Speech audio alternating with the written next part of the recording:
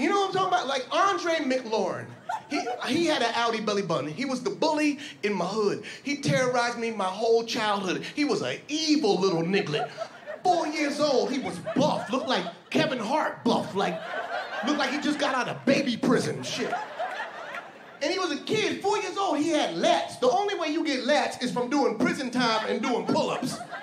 He was a badass little kid. His, he was so evil. His first baby tooth, it came and chipped.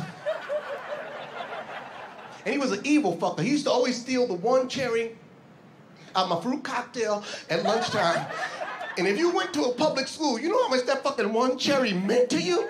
It took you 15 cups to get to the fucking cherry. Otherwise, it was all grapes and fucking nectarines. Y'all want that shit? I want a cherry.